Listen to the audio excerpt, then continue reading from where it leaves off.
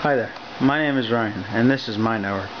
Here I run a 24 port 10100 switch with 200 megabytes of backbone. I have it cooled with a little system fan sitting on top of it because I have no airflow. Then I have a simple modem and router setup. I do not have DHCP running on my router. I actually have a network server that does DNS, DHCP, and runs a domain. It also is its own file server and runs users and profiles upon it. Now my server up here runs dual quad cores at 2.33 gigahertz each. This server has 3 terabytes and a RAID array of 0, giving me a 3 terabyte array. It also runs an 80 gig system drive. That's what the operating system runs off of.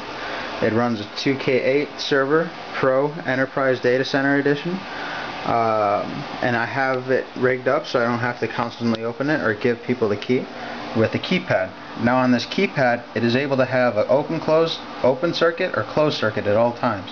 So I have kept the on switch on the open circuit at all times. So when I go ahead and put my passcode in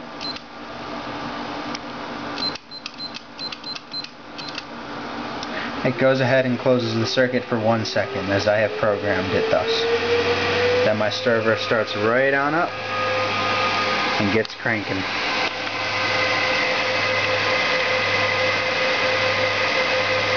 On the inside, I have a very front 120 millimeter fan, DVD-ROM drive, and that's all. Hope you enjoyed my network. Thank you.